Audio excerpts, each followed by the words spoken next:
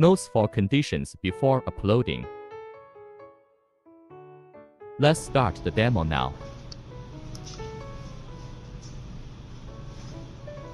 First, press and hold the power button to enter the selection page.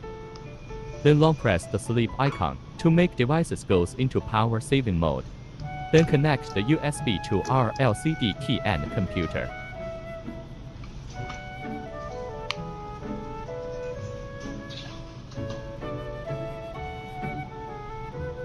Then we open the unzipped installation package, then find this exe and open it. Then find the picture we want to upload.